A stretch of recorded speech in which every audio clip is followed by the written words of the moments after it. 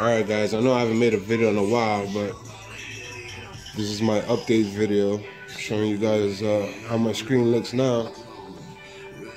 I have a 100 inch silver ticket uh, screen. It's a white screen and I put LEDs behind it. Still using my Epson 2040.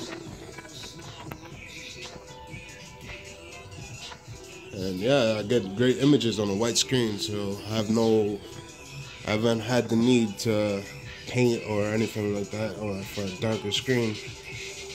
I have light controlled environment,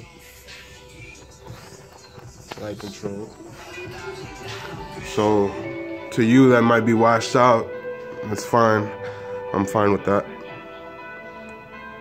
It's good right there.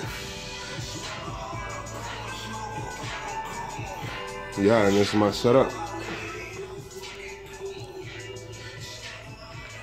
After watching Jamie's video, I also ended getting a, a Raspberry Pi. I got a Raspberry Pi CanaKit. I got remote. Hooked it up with a uh, Xbox 360 remote.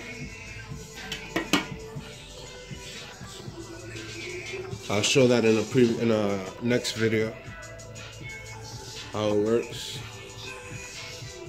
And uh, yeah.